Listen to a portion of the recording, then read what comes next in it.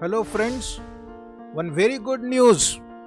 We at AS Foundation are providing portfolio management lectures fully free on our YouTube channel AS Foundation. Portfolio management lecture will be very useful for CA final student, CMA final student and CS student also and of course MBA students also. So go to our AS Foundation YouTube channel, subscribe, join, share with your friend and you will get all the lectures of portfolio management.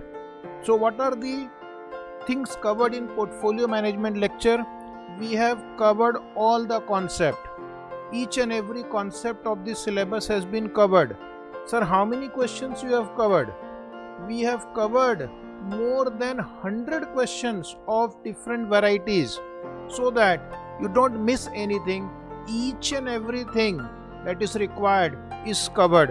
Where are the questions from? Questions are from study material rtp mtp past exam and also good reference books. So everything at one place. No need to go here and there. You can watch all portfolio management lecture free. Sir what about the logic? Do you only solve the question? No dear we have explained logic of each and every concept.